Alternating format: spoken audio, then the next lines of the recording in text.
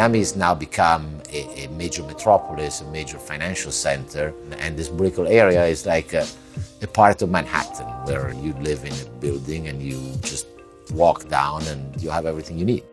Brickell Flatiron is the latest addition to the area. It's a 65-story residential building with uh, ground street retail. It's going to be quite a place in downtown Miami at 650 feet up in the air and be able to enjoy what is a 360 degree view. The inspiration was to try to get the building to move and look like the wind was stroking the facade of the building and the balconies at every floor have an intertwining curvilinear effect that we believe is going to create a very interesting character and identity for the building. This idea to stay in a space that is not edged, that is not angular, you have to design every element especially for this space. You're getting a triangular shape that doesn't feel like a triangle really because of the way that we've laid out the apartments and the living and dining areas.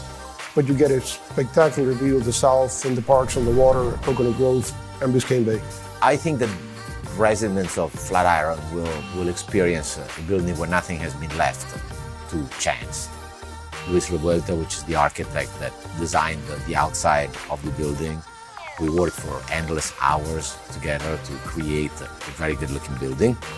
And uh, with Massimo Iosa Ghini, we came up with a unique, very modern, very pleasant, very inviting design for all the interior spaces.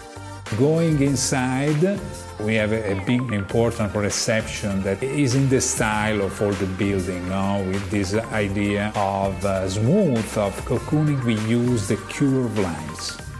Going up, we have a floor with amenities and we have uh, bars, we have spaces with a billiard, we have a space for, for kids area. We have a space that is a cinema that is so, so comfortable. And also we have liquor, cigar room, a place a little English in the style where you can relax.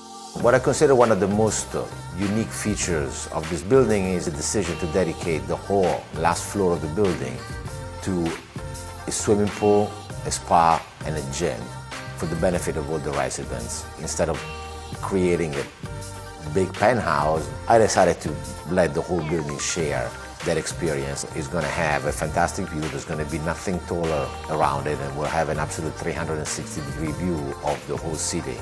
I've been concentrating the past 30 years to build properties that were more targeted toward uh, part-time residents or people that would come to Miami on vacation. And now this building is targeting permanent residents, people that work and live here and they live in this environment where within walking distance they have everything that they need. We've put a tremendous amount of thought and effort in trying to make that experience unique for a buyer, so there's no question in my mind that this will be the best project developed by Colombo in this area.